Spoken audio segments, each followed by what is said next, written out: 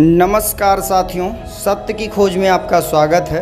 दोस्तों, वीडियो शुरू करने से पहले आपसे कहना चाहूँगा कि अगर अभी तक आप लोगों ने हमारे चैनल को सब्सक्राइब नहीं किया है तो सबसे पहले लाल वाले बटन पर क्लिक करके चैनल को सब्सक्राइब कर लीजिए, बेल आइकन को दबा दीजिए, जिससे हम जो भी वीडियो बनाएँगे, सबसे पहले आपको मिल जाएगा। साथ गुजारिश और करना चाहूँगा कि अगर आप लोगों को हमारा काम अच्छा लग रहा है, हमारी पूरी टीम का काम अच्छा लग रहा है तो आप सभी लोगों से गुजारिश है, आप लोग हमें फाइनेंशियली सपोर्ट भी कर सकते हैं। फाइनेंशियली सपोर्ट करने के दो तरीके हैं, या आप हमें सुपर थैंक्स के ज़रिए फाइनेंशियली सपोर्ट दे सकते हैं, या फिर सामने दिए गए क्यू आर कोड को स्कैन करके आप हमें फाइनेंशियली सपोर्ट दे सकते हैं। साथियों, आपके सहयोग का मैं इंतज़ार करूँगा। तो साथियों, आज के वीडियो में मैं आपको बताने वाला हूँ कि यहाँ पर हिंदू ही नहीं, मुस्लिमों ने भी बौद्धों की विरासत को हड़पने का काम किया है। तो आज का जो वीडियो है वो एक ऐसी जगह का वीडियो है, जहाँ पर तथागत बुद्ध जी के परम उपासक कहे जाने वाले महान राजा सम्राट अशोक मौर्य के अभिलेख को नीचे दबा करके ऊपर मज़ार बना दी गई है और वहाँ पर ताला डाल दिया गया है। तो आज ऐसे ही एक राज से पर्दा उठाने वाला हूँ, एक ऐसी मज़ार से, जहाँ मज़ार के नीचे आपको तथागत बुद्ध के परम उपासक कहे जाने वाले महान राजा सम्राट अशोक मौर्य की दास्तान छिपी है। तो आपको लेकर के चलने वाला हूँ बिहार के रोहतास ज़िले के सासाराम शहर के नज़दीक में। वहाँ पर आप लोगों को प्रियदर्शी चक्रवर्ती सम्राट अशोक जी का एक लघु शिलालेख वहाँ पर कैद करके रखा गया है। तो साथियों, आइए शुरू करते हैं इस वीडियो को बस गुजारिश यही है कि वीडियो को पूरा देखिएगा। तो आइए शुरू करते हैं।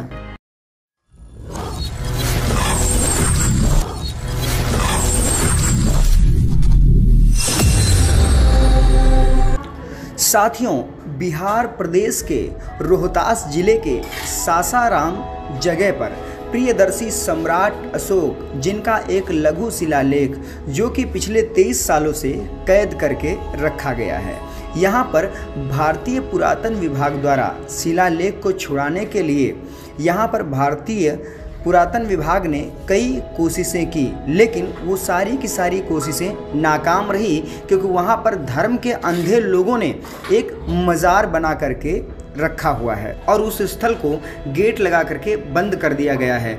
जहाँ पर जो दरगाह है, उस दरगाह के नीचे हमें कई सारे बहुत से प्राचीन से प्राचीन काल के समय के अवशेष दिखाई देते हैं, जो कि महान राजा सम्राट अशोक कालीन हैं, जहाँ पर उन अवशेषों को नीचे दबाया गया है और उसके ऊपर वहाँ पर एक मज़ार को स्थापित कर दिया गया है। साथियों, सासाराम यह स्थल गया से 120 किलोमीटर की दूरी पर स्थित है, जिससे सहसराम के नाम से भी जाना जाता है। यह रोहतास ज़िले का मुख्यालय होकर प्राचीन काल में काशी के दायरे में आता था। सासाराम के नाम से उत्पत्ति सहस्त्र राम से हुई है, जिनका शाब्दिक अर्थ एक हज़ार उपवन होता है। जिस राह से भगवान बुद्ध ने ज्ञान प्राप्ति के बाद सारनाथ की यात्रा की थी, उसी मार्ग में यह स्थान आता है। यह एक प्राचीन मार्ग होने के साथ साथ बौद्ध धर्म का केंद्र भी रह चुका है। इसके कारण यहाँ स्थित दरगाह के नीचे आज भी अवशेष दिखाई देते हैं। यहाँ प्राचीन काल में बहुत से थेरवादी भिक्षु रहा करते थे। इसके पुख्ता सबूत भी पहाड़ी पर बहुत ही ज़्यादा संख्या में मिलते हैं। बहुत दिनों तक यह जगह लोगों से अनजान थी, लेकिन इसे अंग्रेज़ों द्वारा खोजा गया था सन 1917 के आसपास घोषित कर दिया गया था कि यह जो जगह है, यह अशोककालीन है। पुरातन विभाग ने यहाँ पर पूरी तरीके से खोज करके ये साबित कर दिया था। और साथ ही साथ यहाँ पर बहुत से अवशेष, जैसे सम्राट अशोक के शिलालेख, उनके समय की पुरानी से पुरानी चीज़ें, यहाँ से अवशेष के तौर पर मिली हुई हैं। लेकिन 2005 में यहाँ पर एक मज़ार बना दिया गया। इसके साथ साथ जब मज़ार बन गई तो उन शिलालेखों को नीचे दबा दिया गया और 2005 में पूरी तरीके से इस जगह को मुस्लिम समुदाय के लोगों ने अपने कब्ज़े में ले लिया। लेकिन पुरातन विभाग ने यहाँ पर कई बार कोशिश की उस शिलालेख को हटाने के लिए, वहाँ से ले जाने के लिए, लेकिन वो लोग नाकाम रहे। वहाँ पर हो रहे अतिक्रमण, जिसको रोकने की पूरी की पूरी कोशिश की थी पुरातन विभाग ने, लेकिन वो भी उसमें नाकाम रहे। यहाँ पर पुरातन विभाग के डायरेक्टर ने बहुत बड़ी मशक्क़त की सम्राट अशोक का शिलालेख वहाँ से हटा दिया जाए।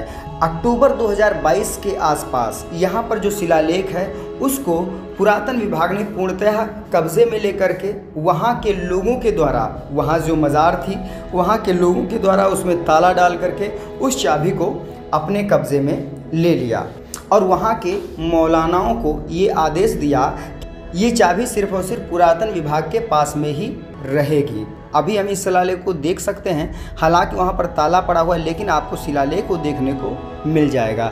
लेकिन उससे पहले उस शिलालेख को देखने भी नहीं दिया जाता था। कुछ प्रमुख समुदाय के लोग वहाँ पर जिन लोगों ने मज़ार बना के रखी है, उन्होंने उस शिलालेख को देखने पर भी पाबंदी लगा के रखी हुई थी। बताया जाता है, ये जो स्थल है, यहाँ पर जब भगवान बुद्ध को ज्ञान प्राप्ति हुई थी, तब ज्ञान प्राप्ति होने के बाद भगवान बुद्ध लोगों को दीक्षा देने के लिए सारनाथ की यात्रा किए थे और उस यात्रा के दौरान इस जगह पर सारनाथ के तुरंत बाद में दूसरा धम्मोपदेश यहीं पर दिया था। यहाँ पर भी पंचवर्गीय लोगों को तथागत बुद्ध ने धम्मोपदेश दिया था और वहीं पर सम्राट अशोक ने अपने द्वारा वो जो शिलालेख है वहीं पर लिखवाया था। साथियों तो मैं आप लोगों को आइए उस शिलालेख को दिखाता हूँ, जिस शिलालेख को यहाँ के लोगों ने हड़प के रखा हुआ था और उस शिलालेख के बारे में आप लोगों को समझाते हैं। ये आप लोग देख रहे हैं, यहाँ से कुछ शब्द आप लोगों को दिख रहे होंगे और समझ रहे होंगे। यहाँ पर देखिए, यह एक दरगाह है। साथियों, देख सकते हैं, यह जो दरगाह है, इस दरगाह का नाम है हसरत सैयद अमीर नाम से ये दरगाह। आप लोग देख सकते हैं, ये जो हसरत सैयद अमीर नाम से ये दरगाह है और इसी दरगाह के नीचे उस शिलालेख को दबाया गया है। तो आइए देखते हैं उस शिलालेख को और शिलालेख में देखते हैं कि जो हसरत सैयद अमीर जो दरगाह है, उसके नीचे शिलालेख में लिखा क्या है, आप लोग हिंदी में उसका अर्थ समझेंगे। शिलालेख में देवों के प्रिय ने कहा है, वह ढाई साल से अधिक समय से उपासक हैं।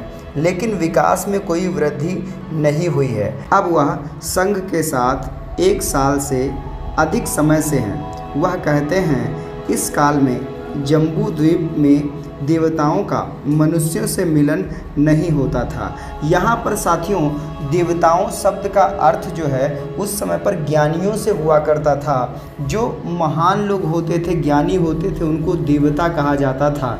और यहाँ पर बौद्ध भिक्षुओं के लिए भी देवता शब्द का प्रयोग होता है। तो इसीलिए यहाँ पर ये बिल्कुल ना सोचे कि देवता शब्द से किसी और अन्य व्यक्ति से लिया गया है तो देवता का सब मतलब होता था ज्ञानी या बौद्ध भिक्षुओं के लिए उपयोग में आता था। अब देवताओं का मनुष्य से मिलन हो रहा है। यह पराक्रम यानी परिश्रम का फल है। यह न केवल महान लोगों के लिए बल्कि आम लोगों के विपुल परिश्रम से स्वर्ग में आरोह संभव है। इसलिए आम और बड़े लोगों को ऐसे परिश्रम करने की घोषणा की गई है। सीमा पर बसे लोगों को यह जानना चाहिए कि ऐसा ही पराक्रम चीरकाल तक होता ही रहेगा। यह ऐसे ही बढ़ेगा, यह दिन ब दिन खूब बढ़ता जाएगा, यह बिना किसी रुकावट के दिन ब दिन बढ़ता ही जाएगा। यह घोषणा दो सफल रातें घर से दूर जागृत रहकर की गई हैं। दो दिन समय दूर रहकर यह लेखन पत्थर की चट्टानों पर जिस स्थान पर स्तंभ हो, उसे स्तंभ पर लिखवाने जानी चाहिए।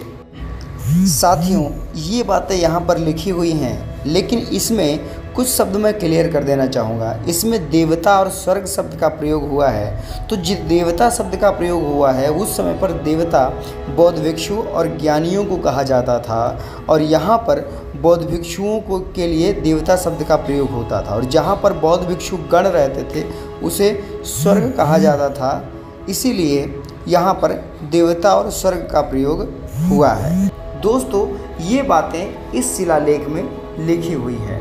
और ऐसी बातें साफ़ साफ़ ये दर्शाती हैं कि हमारे कितने अच्छे सम्राट अशोक थे जिन्होंने ऐसी बातें लिखवाई और किस तरीके से कार्य को उस समय पर करते थे। जैसे कि आज के समय में ब्लॉगर जो होते हैं वो अपना वीडियो अपलोड करते हैं ब्लॉगिंग की तरह। उसी प्रकार से उस समय के जो शिलालेख पर लिखवाने का काम सम्राट अशोक जी कर रहे थे, वो कितना ही खूबसूरत और बेहतरीन इतिहासकालीन था।